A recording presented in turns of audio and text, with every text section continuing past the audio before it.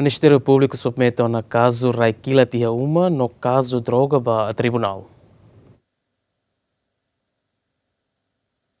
Procurador-Geral República Alfonso Lopes Atete, caso Conaba atual diretor Serviço Nacional de Inteligência Longinus Monteiro, nebe alegadamente raikilet ihani residência, nomos caso sir drogania submetido ao tribunal atual julgamento.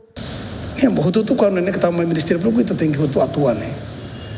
Kita tem que uh, sempre né, tá atua uh, qualquer caso, lá né, qualquer caso.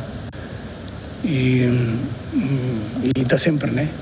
Uh, pode tá, trata trata tudo igual. Agora o processo ini tá você para o tribunal não vai, tá tribunal não vai.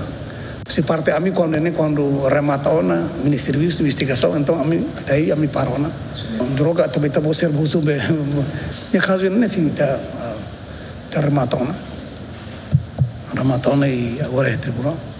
E a segunda lora sanulo resine fulan janeiro tinane, mais ou menos tu cuida da der equipa conjunta composto husi Polícia Científico Investigação Criminal no Serviço Nacional de Inteligência, Serviço de Informação Falentil, halo busca domiciliária para residência Longinus Monteiro Nien e a área Lois, no assegura sasan hanesan kilat botolo, pistola ida, rama automática no munição bakilat GM sanulo resinen, no pistola Glock sanulo resencia.